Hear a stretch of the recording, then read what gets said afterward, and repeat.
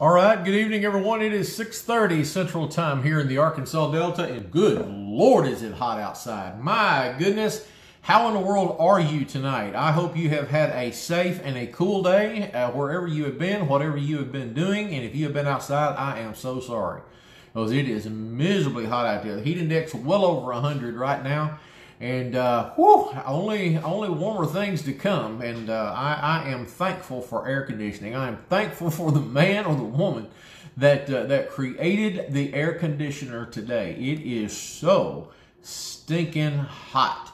I mean, hot. I, I, I, posted something yesterday and it came across as a joke, but I mean, let's just be real. And that was uh, the National Weather Service had issued a, a recipe on how to bake lasagna in your mailbox. And that's pretty doggone warm, folks. And it is, it is warm. Hey, when you get on, say good morning and let me know that you are here. I am in the process of doing all that extra sharing, and I will ask you to do the same thing and that is to hit the share button, put it out to your friends, your family, and tell them to say, hey, come on, tune on in, and let's talk about what's going on in the book of Exodus tonight. We're going to be wrapping up chapter 24. I think it's 24, right. We're going to wrap, wrap up 24 tonight, and then, Lord willing, we are going to go into 25. That's really where I want to get to tonight, is to get it started. And uh, it, it's, it's one of those things that it is the blueprint for the tabernacle. And it is just, oh my goodness, it's so incredible. And I can't wait to get there. And if we can't, then obviously that'll be next week. But uh, I do hope that uh, we can get at least part of the way there. Uh, I am almost ready to where I can see who is out there and what all is going on and all of that good stuff. Uh, let me see here. All right, who, Rebecca Lewis, perfect opportunity to preach a sermon on hell. Girl, that's what I'm talking about. That will preach without question. Oh my goodness. Man, it is just it is just seriously some kind of hot. I saw uh, I saw a meme today on social media. It was, it was it was quite funny. And it had the picture of the sun over here, and then right beside it was the state of Arkansas, and then right behind it was hell, and right behind it was uh, earth. And I thought, oh, how true that really is today. Oh, it is it is just warm, warm, warm, warm. So uh, again, if you're here, go ahead and say good morning. Let me know who who all is uh, locked and loaded and joining me. I am almost there. Uh, man, we got uh, we got a great group of folks on here. Holy cow! Let's see, Mary Weddington. What's going on, Miss Mary? Bobby. Let me see. Give it the other direction. Bobby Aston. Good to see you, Bobby. What's going on, Johnny Smith? Johnny Smith in the house. Uh, Sandy and Jack are in here. Jesse up Grove, up to Grove here hanging out with us. Miss Teresa, she is here. And Rebecca Lewis, I've already said good morning to her. Let me see here. Who all? What else? What, what, what, what, what, what, what? Let me see here. Boom, shakalaka. Uh, there's my buddy CJ Looney. Hey, that's what I'm talking about. Coffee strong enough to chew. That is my soulmate right there. That is exactly what I'm talking about. Let me see here. Uh, it looks like I, uh, my, my, my daughter is on and so is my grandson. Colson is trying to show me his chip. Colson, man, if you were watching Pab Bob right now, I just want you to know something real quick. I love you more than words can ever tell you. Mm-mm-mm. I sure wish I was there with you. You be good. You take care of mom and daddy, okay? You be good. I love you bunches, Colson, man. All right. All right. Let me see here. Uh, man, I needed that. I need to, woo, need to see my kids. Uh, boom, boom, boom, boom, boom, boom, boom, boom, boom, boom, boom, boom. I have no idea who all what. Bobby asked, I'll take a day like today over any day under 55. Boy, Bobby, I would disagree with that. Uh, I have lived in the north coast of Ohio for over 10 years, and so I do understand what cold is, and 55 is not cold. Uh, 55 is actually shorts and t-shirt weather, to be absolutely honest with you. Roofer on my roof frying, just what Miss Jessie says. Absolutely, I can fully believe that. Uh, boom, boom, boom. Miss Judy Davis is here. What's going on, Miss Judy? What is going on, Miss Judy? Okay, uh, Larry and Pam are here. Larry, uh, Pam, it looks like you are posting as Ridgewood tonight. So uh, just as a heads up, uh, it is hot. My air. Oh, Miss Mary, your air is out. Do you need anything? Do you need fans? Do you need anything that we can bring you to help get you cooler tonight? Do not go through this night with all this heat, okay? You let us know right now, right, right tonight, what we can do to help you because we do not want to see you go through this mess, okay? There's, there's no need of it. You, you let us know. Uh, boom, boom, boom, boom. What all we got? What all have we got? Trying to say and say howdy to everybody that is here, here, here. He says, "Oh, cute duck face." uh, I love it. Mary's got a fan. Do you need more? Okay, if you need more, let us know. Okay, we'll take care of it. I mean, tonight we will take care of it. Not a problem at all. Uh, boom, boom, boom, boom, boom. Okay, I think that's it. Hey, everybody got your Bibles turned over to Exodus 24. Go ahead and do that. What I want you to do uh, right now is uh, if you have prayer requests that you would like to share, right now would be a great, great time to go ahead and list those in the comments if you would like to do that. I know Miss Mary Weddington shared a prayer request a little earlier tonight today, and that was about a family in Mesquite, Texas, that uh, has come down with the coronavirus, and so we want to remember that family. Uh, I'm sure that uh, uh Miss Mary knows them uh, quite uh, quite personally. I do know of another person that has been in the hospital this week that was very close to the virus. They thought that this individual had it, but as of today, that was a negative result that came back, and I, all I can say is praise the Lord for that. Uh, but if you have prayer requests, go ahead and list those so that we can make sure we have them listed. Also, if you have just something that you just want to say thank you, Jesus, about, some good news, some praise reports, then this is a good time for you to go ahead and do that. Uh, Man, let's see here. Uh, Dorothy Barnwell, Bev's mom, Dorothy Barnwell is joining us tonight. Oh, well, hello, Miss Dorothy. How are you tonight, sweet lady? So, so blessed that you are being able to hang out with us tonight. Thank you so much for doing that. I pray you've had a great day, and uh, I pray that you are able just to sit back with Bev and Dan and uh, enjoy our time together uh, as we gather here online. Excellent, excellent, excellent. Uh, oh, I love it. I love it. Chris Frankenberger in the house. What's going on, Miss Chris? How's things in the great metropolis of Jonesboro? How's your crew? How is Keith? How's Mr. Brooks? Let us know all the things. Let us know what all all's going on. Uh, okay, what all? Okay, look, Miss Mary, you have got offers all over the place for a place to sleep. So do not stay hot tonight. Okay, you've got the offers. Put you an overnight bag and get over there. Okay, got got to get cool. Okay, we definitely want to make sure that you are taken care of. Uh, all right, so so good. Uh, again, go ahead and uh, uh Miss Denny. I didn't see you, baby. Good to see you, Miss Denny. Uh, glad that you are here. Glad you're hanging out with us. I pray everybody has had a smooth day. Got tonight, had a good supper, and uh, just kick back, ready to uh, dive deep into Scripture because that's really what we're going to do. This is one of my favorite chapters in the book of Exodus. Uh, I love the story of how they crossed the Red Sea. I mean, don't get me wrong, and that imagery is amazing, but Woo, smokes, boy! When uh, when we get into what God gives Moses on Mount Sinai about the construction of the temple, it is a game changer. And so when you start seeing the uh, the specifics of this, then you are really going to have your mind blown. If you've never studied it, Mm, holy smokes, it's, it's going to be great, great, great. Hi, Miss Pat. So good to see you tonight, Miss Pat. I hope all of the wedding planning for the granddaughter is going well, and I pray that there is very little stress involved, that uh, everybody is going super smooth. Today on my memories, on Facebook, it popped up. Um, if you remember on Sunday, uh, I talked about a wedding that uh, uh Denise and I had gone back to Ohio to uh, to perform. Today is that anniversary for that couple. they are celebrating, I, believe today's three years. Uh, and so uh, it was just good to kind of reminisce and talk with them today uh, about that weekend, about that time. They're just special kids to me. I love them dearly. I always will. He, uh, the, the young man was one of my uh, primary team leaders uh, during the campus ministry that we were there. Just a phenomenal young man, and uh, uh, love him, love him dearly, love his bride, and so uh, great, great, great to see uh, them and to celebrate with them again today for three years. Okay, prayer requests, praises. Go ahead and get those in so that we can uh, uh, talk about those, get them ready, get them in. remember, tomorrow morning, Miss Pat is not going to be with us. She is taking the next two Thursdays off so that she can take time with that granddaughter.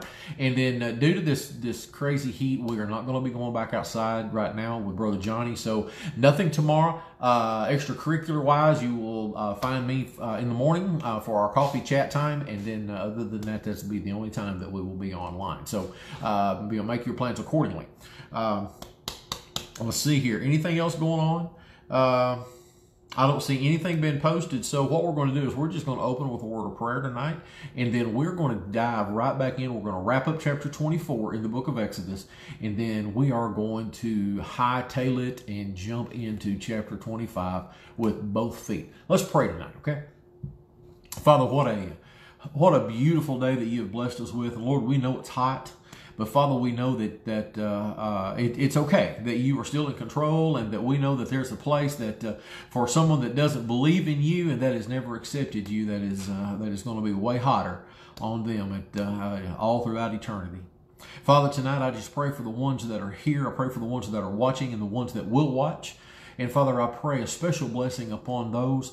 Father God, I ask you, Lord, that you would just open our hearts, open our minds tonight, that we can hear from you. We can see what you're trying to teach us. Lord, I do ask a special prayer tonight for this family in Mesquite that Ms. Mary Whittington has shared with us. Father, for lots of prayer requests that are here and unspoken. Father, I pray specifically, Lord, for our country. Lord, we are just in a hot mess. And Father, I just. Uh, Father, I just pray that you will just intervene. God, that you would just send revival to this country. Lord, I'm just praying for nothing short of the hand of God at work in our country. Father, we, uh, we, we believe that there's something great coming. We are anticipating it. We're excited about it. And Father, we just want to be obedient and be a part of it. Father, watch over us tonight. Protect us. And Father, we just ask you, Lord, that if we have said, done, and thought anything that is contrary to your will, Father, that you would forgive us, Lord and that you would cleanse us, Father, from all unrighteousness. Father God, I love you. Thank you so much for loving me.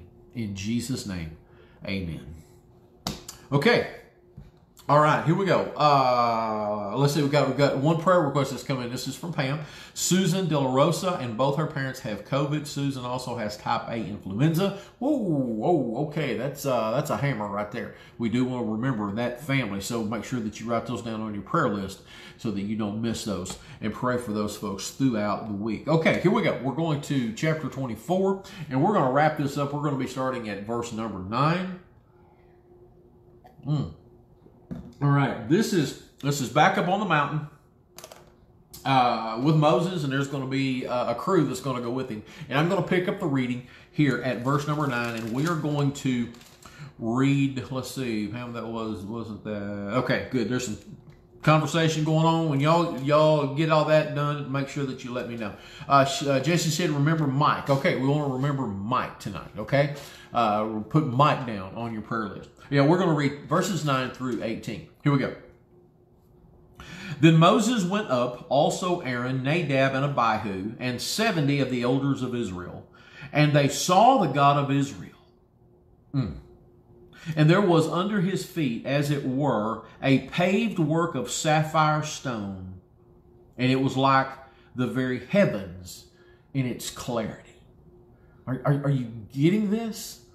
Can, can you picture this?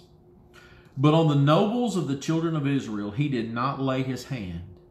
So they saw God, and they ate and drank. Then the Lord said to Moses, Come up to me on the mountain and be there and I will give you tablets of stone and the law and commandments which I have written, that you may teach them.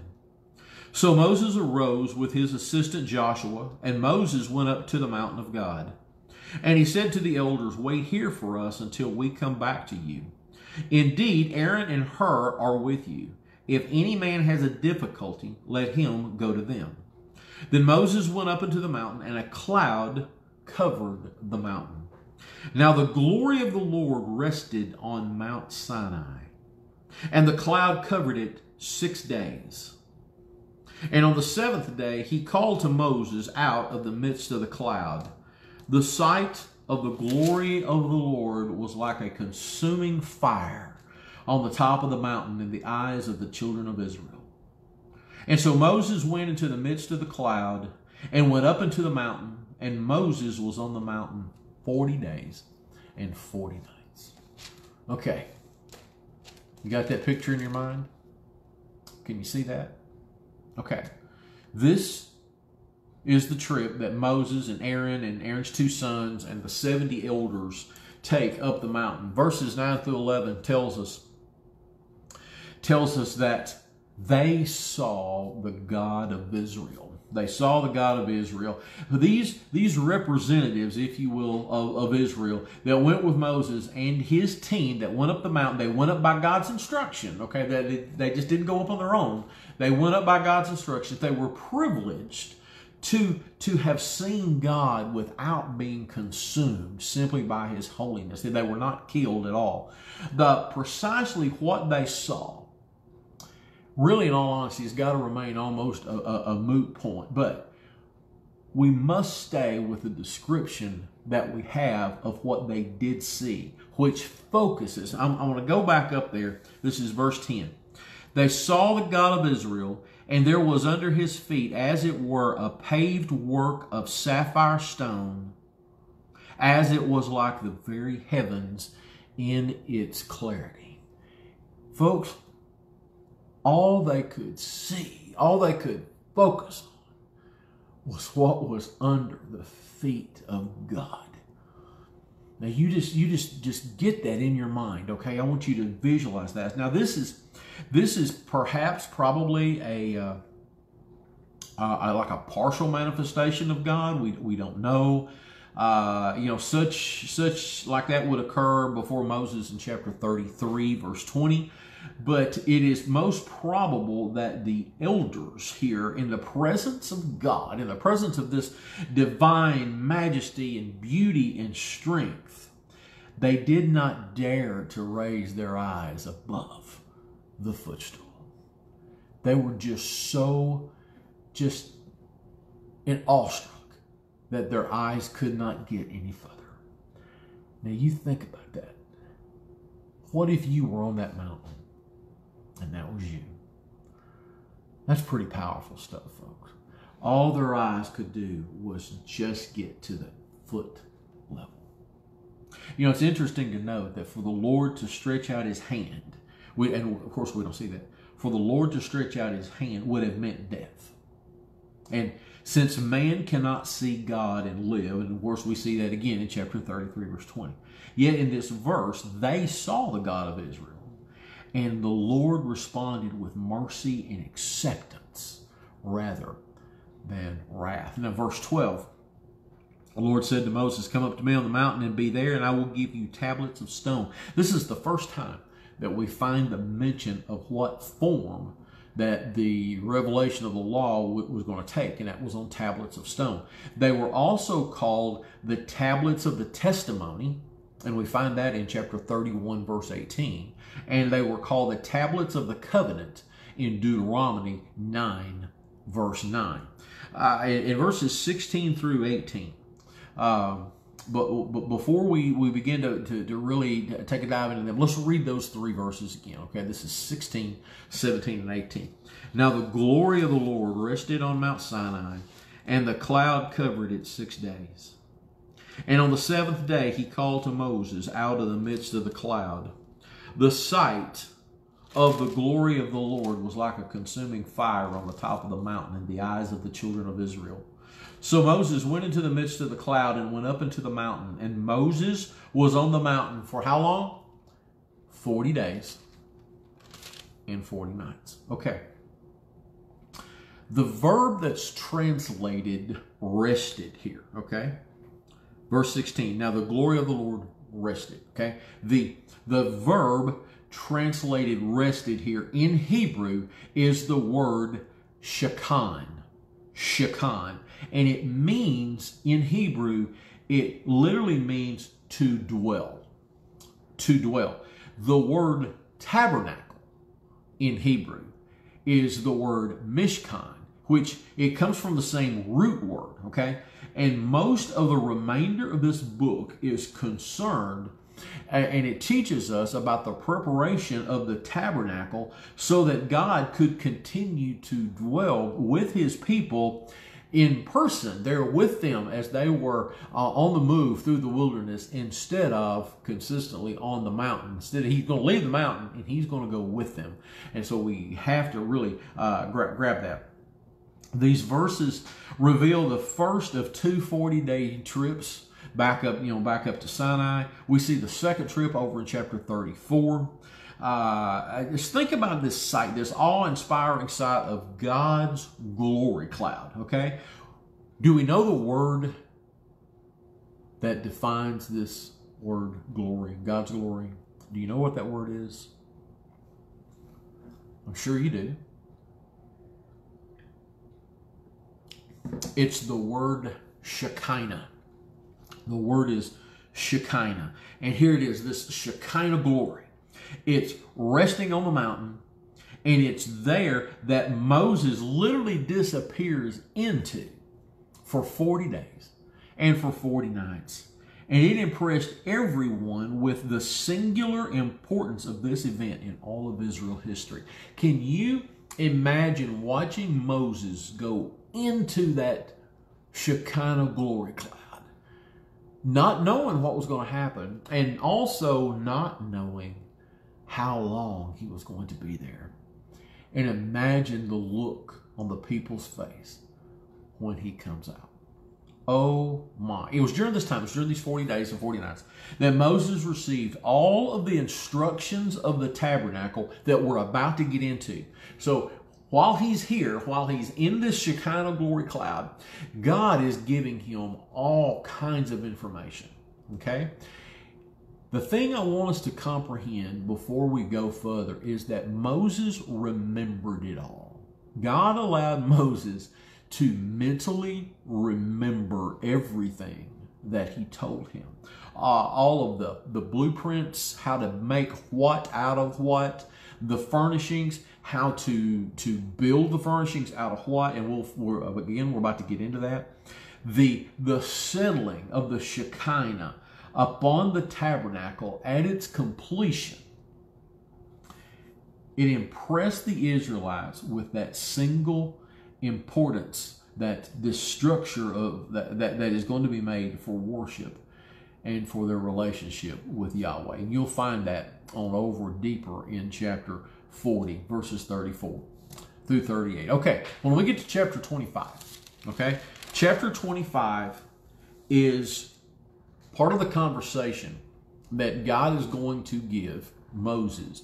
And it is legitimately the blueprints for this mobile tabernacle. All right, it is a massive complex, and you, we're going to see that. Now, uh, for those of you who understand building terms and blueprints, uh, and, and, I know Johnny, I know you do. Larry Jones, I know you do. Uh, and if there's anyone else out there, I'm not trying to cut you short. I just don't know who all is watching that is familiar with this. But you have a master blueprint plan.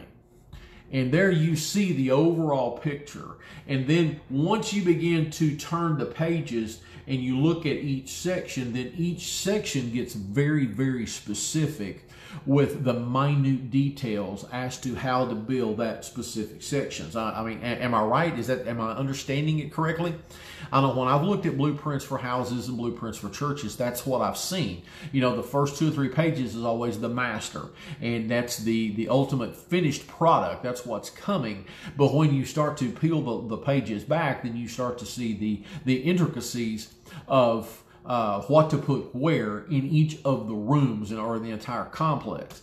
And so, what we're going to find early on uh, when Moses is about to reveal this, starting in chapter 25, is we're going to see the master blueprint. Okay, this is the big picture and and how it's going to be done. And then when you dive deeper into the next chapters, uh, the next five or six chapters, then it's going to be like we, we're opening the pages of the blueprint package and you're being able to see the things a little bit more intricate detail. So let's uh, let's just kind of make a mental note of that moving forward. So right now, God is, giving Moses the master blueprint, and this is coming out to you and me is coming out to the children of Israel. Okay, verse 25.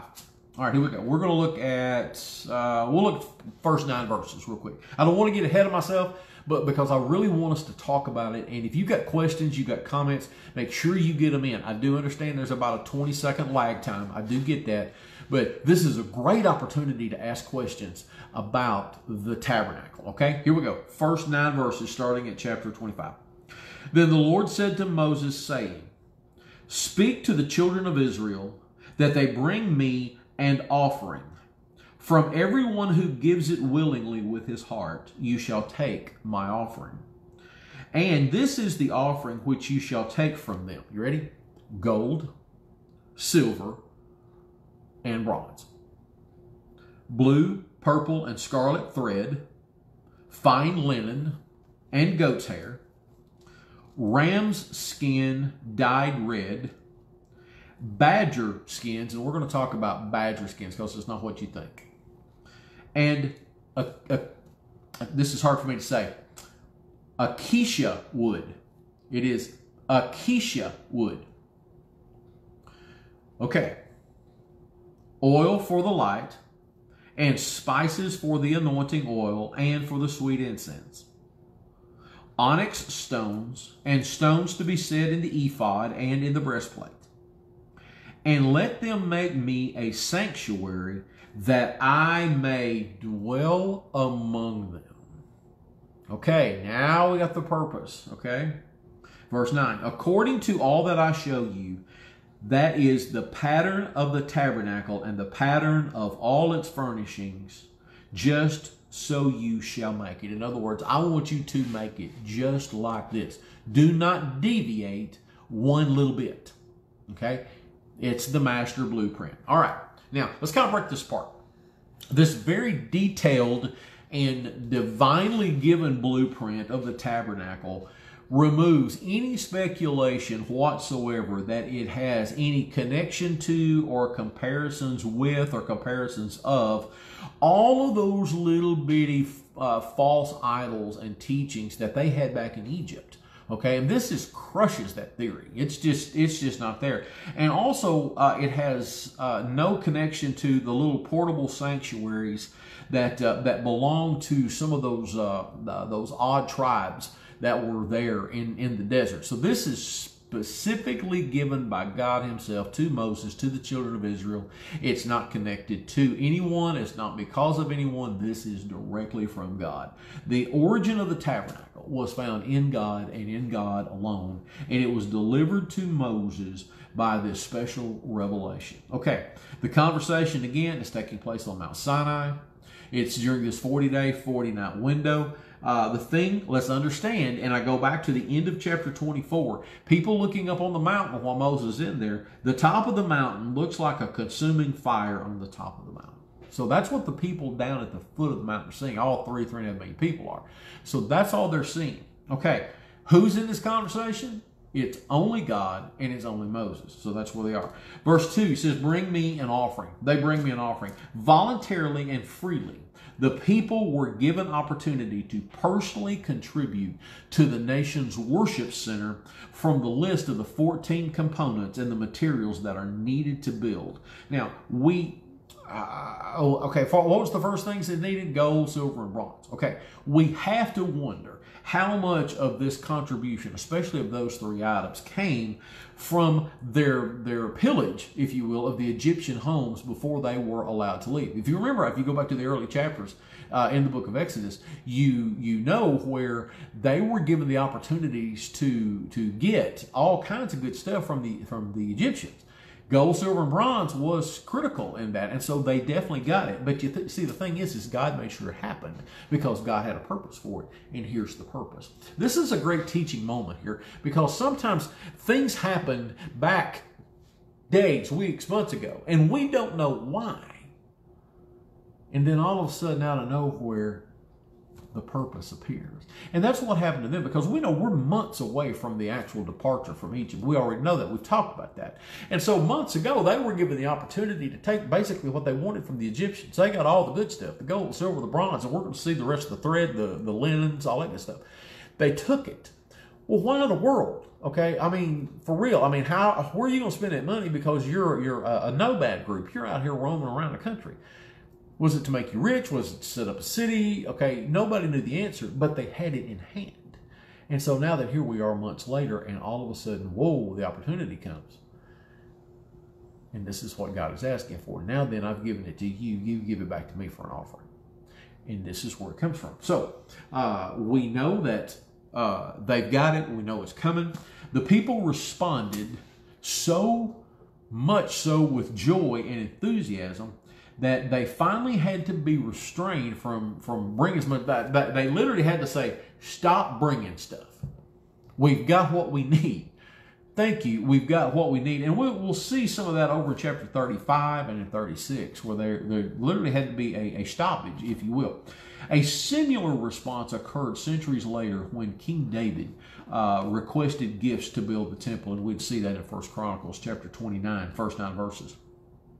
Okay, here's the offering: gold, silver, bronze. Okay, now let's let's break it apart. Then blue, purple, and scarlet thread.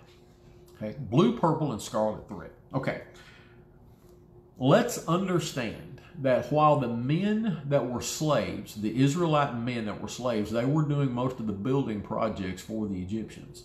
The women were also slaves and they were working in the homes, in the tapestries, and they were doing things for the Egyptian women. And, and if you just search out history, you know that the Egyptians had lavish clothing. I mean, I mean, they had the finest attire anywhere, and it was so bright, it was so colorful, so vivid. Okay, here we have this this this this image that God is is requiring this as part of His offering, which is the blue, purple, and the scarlet thread. Okay, the Israelite women knew how to make this stuff for the Egyptians, and so this was no nothing new to them. You know, we need we need blue thread. Okay, no problem. We'll take care of it. We need purple or, or whatever. They knew how to do it.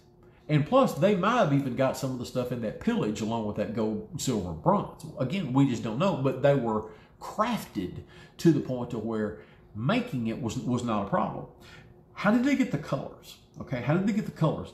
Interesting thought here, and, and, and I've got this information for you. For you note takers, y'all have got to be having a blast with this. The blue colors, the blue thread, was made by, uh, they, they, had to dye the thread, uh, obviously, and it came, the blue came from a shellfish. There was a certain shellfish in that region that gave them the blue color. So they dyed thread uh, with this shellfish, parts of that shellfish, it got blue.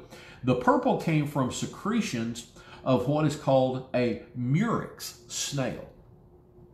Don't ask me how they got the secretions. I don't want to know, but that's how they got it. And because of that item in the dye, it turned the thread purple. The scarlet, okay, you're gonna love this. The scarlet color came from powdered eggs and bodies of certain worms that attach themselves to holly plants. And the Israelite women knew that, and they would gather these worms and these eggs, and they would crush them, and they put them in the dye, and that would turn the thread red. And so now then, you have blue purple, and red thread. Uh, in order to produce that, though, I mean, you just think about that. In order to produce that, to get that consistency of that, all the same blues are alike, the purples are alike, the, the scarlets are alike, and especially from the different natural resources, it demonstrated a substantial degree of, of technical sophistication when you just really process this. So, so these women knew what they were doing, and it was no big deal to them. They got it taken care of. Next thing that uh, the offering that God asked for was fine linen. Again, as I've just said, Egypt had a, a reputation for uh, excellence in producing finely uh, fine linen, and, and this is where it comes from. The linen is made from these dyed threads. So all of this is now uh, in, interwoven, and you're probably thinking, okay, what in the world are we doing? God's asking for gold, silver, bronze, and now then this different colored threads, and now linen. What's he doing? Boy, were they about to find out. What else do they want? Goat's hair. Goat's hair. Then ram skins dyed red. So they had to uh, they, they had to dye the skin of the rams. They had to dye it red. And then badger skins. Now, uh, we would think badger as as uh, you know one of these little critters that's out here uh, uh, you know roam around in woods. And I don't know a whole lot about about uh, you know outdoorsy stuff. I don't know where badgers live and some of you hunters probably do. But you would think that but what we're looking at this is the skin of a fish okay? Uh, and most specifically this is most probably the skin of dolphins that was coming out of the Mediterranean Sea. So just something to think about. At least that's what most theologians are telling us, and I just want to throw that out there. Uh, that's not Jim theology, so I'm just I'm throwing it out there as to what that I have found in my studies as to what it means, and it makes sense when you realize what they're going to do with it.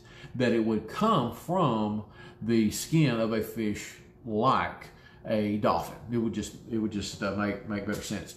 Uh, the tan skins, with all the wool removed and then dyed, resembled what you and I would know as Moroccan leather. So very high quality leather goods that's that's taking place. And then here's the wood. It's acacia wood. That's how it's pronounced. A C A C I A. Acacia wood.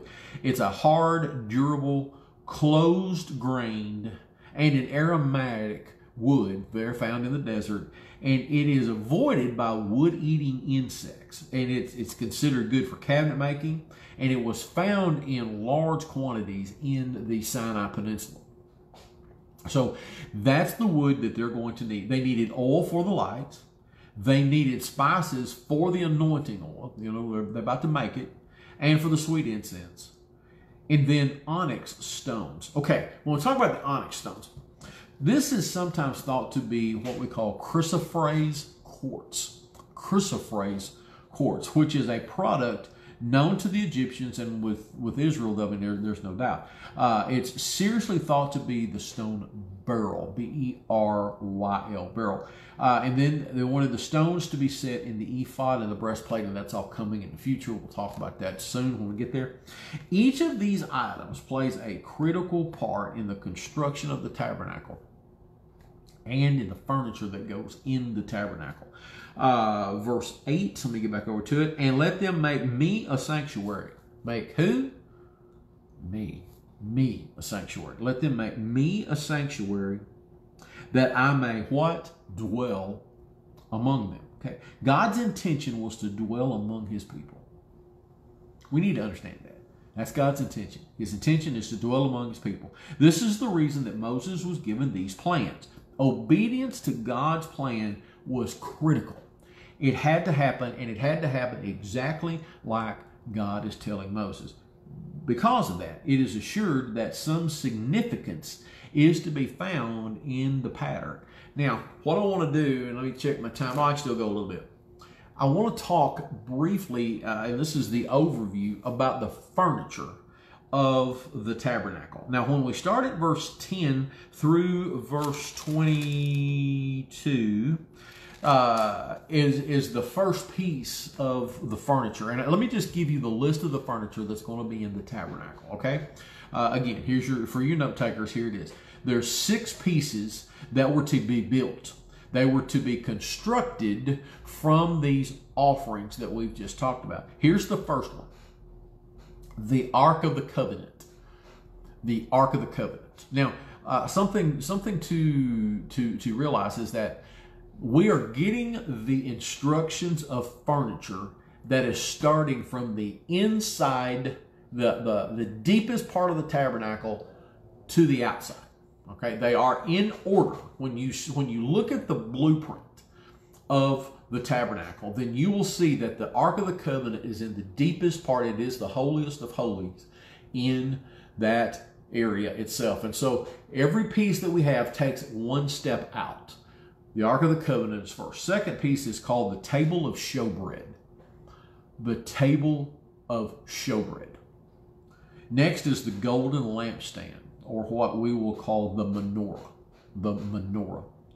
Then there's the altar of burnt offering, the altar of burnt offering, then the bronze laver, that's L A V E R, the bronze laver, and then the altar of incense. The altar of incense. Okay, real quick, all of them together. Ark of the Covenant, the table of showbread, the golden lampstand or the menorah, the altar of burnt offering, the bronze laver, and the altar of incense. So there's six six pieces of furniture that are going to go in the tabernacle that are going to be handmade by the Israelite craftsmen. So here we go. Uh, again, can't miss this. Got, got to understand it. They are coming from the inside all the way out. Uh, the thing that we also have to realize is that this whole thing that they're about to build, the tabernacle, the furniture, everything has got to be mobile because this is a nomadic group of people that is on the move in the wilderness. And so it has to be able to pack up and go and to set back up in its completeness uh, without question. In other words, you're not going to deviate and take the piece that was here and put it over here or vice versa. Everything has to be set up identical the way it is originally planned wherever they are. So again, some uh, some degree of difficulty, really, if you just want to know the truth. And when you when you break into the, the, the size of this this tabernacle, you're going to understand exactly what all is going on. Now, what I want to do is we're going to look first at the Ark of the Covenant. And we're going to pick up reading at verse 10. Uh, yeah, do you like this stuff? I mean, is this is this good stuff? Uh, have you had a chance to study it? Uh, in the past? Are you familiar with it? Uh, I'd really like to know where you are in your studies of this. Is it new to you? Uh, is it boring to you? You know, so on and so forth. So go ahead and hit me up while I start reading this and uh, kind of let me know where you are in your uh, background of the, of the tabernacle. All right, here we go. Verse 10. And they shall make an ark of acacia wood, two and a half cubits shall be its length, a cubit and a half its width, and a cubit and a half its height. And you shall overlay it with pure gold, Inside and out you shall overlay it, and shall make on it a molding of gold all around. You shall cast four rings of gold for it, and put them in its four corners. Two rings shall be on one side, and two rings on the other side. And you shall make poles of acacia wood, and overlay them with gold you shall put the poles into the rings on the sides of the ark, that the ark may be carried by them. The poles shall be in the rings of the ark, and they shall not be taken from it. So we're basically going to build this this cabinet, okay? And we're going to talk about the the dimensions here in a little bit. And it's going to be overlaid inside and outside with gold. They're going to work this this gold product that's that's been given to it, and then at the four corners they're going to mold rings of gold and they are going to take acacia wood. They're going to make poles of acacia wood. They're going to overlay those things with uh, with gold, and they are going to slide them through the rings so that you could have four men to carry the Ark of the Covenant. Literally, they would, they would put the poles on their shoulder, and there would be four that would go forth. And I find it very interesting that the poles are not to be taken out of the of, of the Ark of the Covenant. Uh, do we know why? Mm, we might find out later, but it's, it's really it's a moot point. But I just I just thought that interesting to me. Okay, they shall not be taken from it. Verse 16. And you shall put into the ark. Oh, okay. Now we're being told what to put in the ark. The testimony which I will give you. Okay. Okay. You shall make a mercy seat of pure gold. Now, this is basically the lid to this thing, okay? It's called the mercy seat. You shall, excuse me, you shall make a mercy seat of what? Pure gold. Two and a half cubits shall be its length, and a cubit and a half its width. And you shall make two cherubim of gold, of hammered work you shall make them at the two ends of the mercy seat. Make one cherub at one end, and the other cherub at the other end. You shall make the cherubim at the two ends of it of one piece with the mercy seat. In other words, you're not going to make two of these cherubim and then attach it. It's all going to be one piece, okay? And the cherubim shall stretch out their wings above, covering the mercy seat with their wings, and they shall face one another. The faces of the cherubim shall be toward the mercy seat.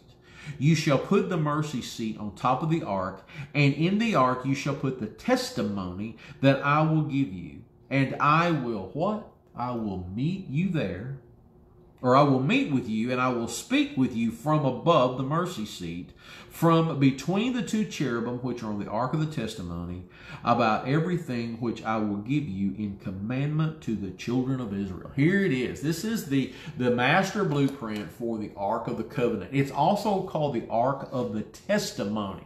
All right, the Ark of the Testimony. Let's see, Denny, done Bible studies that went into detail on the tabernacle excellent, Miss Danny, and love your input as we get through this. So you go ahead and jump in at any time. Pam, very interesting. I've studied it, but always love learning something new. Amen. That's what I'm talking about. Uh, and I don't want to make this boring because we can get lost into the boring details of how to build what. And I don't want to do that because every nickel and dime piece of this thing is is important. because God said do it like this. And, and we have to understand that if God said it, there's an important to us, right? And so we, we got to understand this. Okay, the, the Ark of the Covenant is, is comprised of two components. Number one, the Ark itself. We saw that verses 10 through 16. And then the lid, the mercy seat in verses 17 through 22. This is it. This is the key piece of the tabernacle. It is the most sacred part of the tabernacle. The ark itself, as I said, it's like a box. It's a uh, uh, it's a container type portion. Okay, it's going to hold things, and so we need to understand the value of this container, this Ark of the Covenant. Now look at the details. Okay, here's the here's the uh, uh, uh the blueprint. Okay, let's kind of go over it. It's made of acacia wood. I've already talked about that. It's two and a half cubits in length, one and a half cubits wide, one and a half cubits tall. Now, if a cubit, which we know is approximately 18 inches in length, that means that the ark is 45 inches by 27 by 27. Okay, 45, almost four feet by just over two feet by just over two feet. All right. 45 by 27 by 27. It's overlaid, in other words, this acacia wood is overlaid with pure gold inside and out and gold moldings all around. This is craftsmanship at its finest. These, these people from Israel were used to doing this for the, for the Egyptians. And so now that they are getting to do it for Yahweh. What an honor it must have felt like for these men in order to build these pieces of furniture. It's overlaid with gold inside and out, gold moldings all around, four gold rings, just like I mentioned, one on each excuse me, one on each corner. Poles were made of acacia wood. They're overlaid with gold. They're to be placed through the gold rings for carrying purposes and not to be taken out. Verse 16, uh, we read this, and you shall put into the ark of the covenant the testimony. Let me get back over there to it the ark of the testimony, which I will give you. So, in other words, we have to understand it's not here yet. What I'm going to give you is not here. But there's something coming that you're going to put in this container box into the Ark of the Covenant. God repeats these words in verse 21. Let's uh, let's roll on down there. You shall put the mercy seat on top of the ark, and in the ark you shall put the testimony that I will give you. So he's repeated himself now in, in, like, like five verses. He's, he's already repeated himself. We do not see the testimony in Scripture. We do not get our hands on it until chapter 34, verse 29. So we are now in chapter 25, and we're literally, we're nine chapters away from getting this. And there's an awful lot of things that's going to take place in nine chapters. So let's just be mindful as to where we are and what's coming. Uh, so the ark, the cabinet, this the box, the container box, it is it is empty. Now we get uh, let's see, never boring. The gold made it so heavy, four men. Exactly. This, this, box had to be astronomically heavy. You know, you know, it's almost four feet by two feet by two feet. Oh, well, just over two feet. So if this thing's overlaid with solid gold and the rings are gold, and plus the mercy seat that we're about to describe, and it's all of pure gold, this thing had to weigh a doggone ton. And so, uh, man, can, mm, can you just imagine, though, the task of four men? You, you, you, and you, you're carrying the Ark of the Covenant. Think about that. Okay, the mercy seat. It's two and a half cubits long by one and a half cubits wide. So basically it's 45 inches, okay, by 27. Okay, that's the top to it. All of pure gold. It's exactly the top dimensions of the ark. On the top of the mercy seat, on the lid, are two cherubim that are hammered out of gold. And they are one with the mercy seat. So there's not going to be pieces. Like I said, in other words, well, here we are, now we're going to add this, and ping, ping, ping, ping, we're going to add this, and same thing over here. No, no, no, no. This is all hand carved out into one piece. I would really be interested to know how much the weight of the mercy seat was, how much it weighed. Now, you just think about that. That's 45 inches by 27 inches with those cherubim on top of it. And we don't really know how big they were either, of solid gold. Mm-mm-mm. The cherubim shall face each other. Their wings shall stretch out above covering the mercy seat with their wings, basically forming an arch. Cherubim, uh, just historically, are associated with the majestic glory and presence of God. And we see that in Ezekiel chapter 10, verses 1 through 22. That's Ezekiel chapter 10, verses 1 through 22. In 1 Samuel 4 4 and in Isaiah 37 16, Scripture reveals the cherubim as the bearers of God's throne. Uh, in Genesis 3:24, they are the guardians of the Garden of Eden and the Tree of Life. And on the mercy seat, uh, it is going to be put on top of the ark. So the cherubim play a pretty substantial part uh, in the Old Testament. And, and uh, wouldn't it be neat to go ahead and do a study on the cherubim? Just to see who, what, and where. So that might be something we want to uh, we want to take a look at. Then God says that He will meet with you, and I will speak with you from above the mercy seat from between the two cherubim which are on the ark of the uh, ark of the testimony about everything which I will give you in commandment to the children of Israel. So now God is going to do his talking here and not on Mount Sinai. Okay, we're going to uh, kind of throw the brakes on right there. And uh, we will pick up next Wednesday night uh, looking at the next piece of furniture, which is the table for the showbread, the table for the showbread, I would encourage you to go ahead and to uh, take a look at that next passage of scripture and just kind of read through uh, all of chapter 25 as we begin to move forward. And that way, if you've got questions or comments, you can have them ready to go. And uh, we will be glad to get them out here and chew on them as a group tonight. I hope you have had a wonderful night. This has uh, always been impressive to me to be able to picture what's going on here and uh, you know god uh, with moses on the mountain and he comes back and this is instructions that he has and the children of israel just kind of go crazy and they start making all this stuff and uh, to have been a fly on the wall to have watched it all. Uh, it's a humbling experience when you think about it. I mean it just really really really is Okay, uh, tomorrow I'll see you guys in the morning, uh, somewhere around that 8.30 time slot, 30 to 9 for our coffee chat. We are in First Timothy. Well, guys, you do not want to miss this. This is some deep, deep stuff. And we have already spent a couple days in chapter 1, and we have been smacked around already for two days from Paul as he's talking to Timothy, and the things that we can do to make better, to be to be better and uh, things that we need to look at, things that we need to change. So join me tomorrow as we crack open chapter two. Uh, Miss Pat, again, be off the next two weeks. Johnny uh, is going to be taking off for the next couple of weeks as well till we take a look at this heat thing and uh, see what all is taking place. Sunday morning, do not miss Sunday morning. It is going to be so wonderful.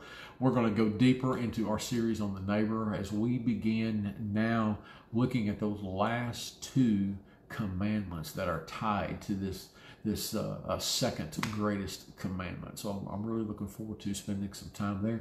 And then immediately following the morning service, we will have our quarterly business meeting. And so I want to uh, make sure that you are aware of that. And uh, that'll be taking place again right after the Sunday morning service. Folks, that is all I've got. Uh, oh, no, I'm sorry, there's one more thing. Uh, Gloria is going to be out of the office tomorrow. Uh, and so if you need anything, make sure that you call me and I will be glad to get it all taken care for you. I'm still working from home and uh, getting things done here. And uh, if you need anything, make sure you call me. You send me a message, send me a text, uh, whatever you need to, to, do. I will be glad to get it and get you taken care of.